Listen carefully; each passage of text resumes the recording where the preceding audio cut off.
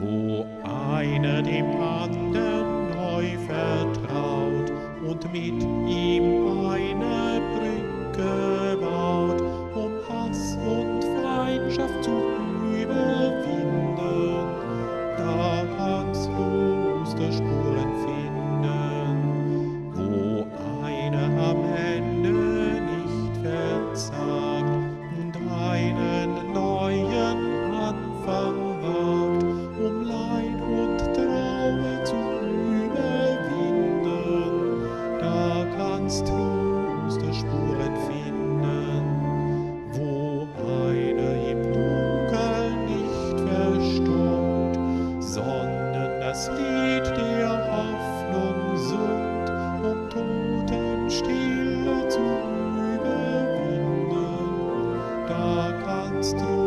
du Osterspuren finden, wo einer das Unbequeme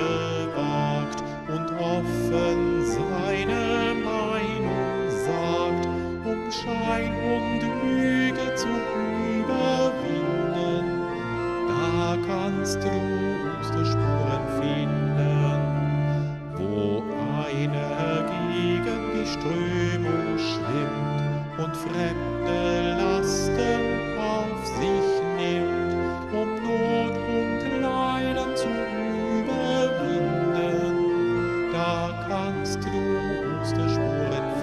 finden,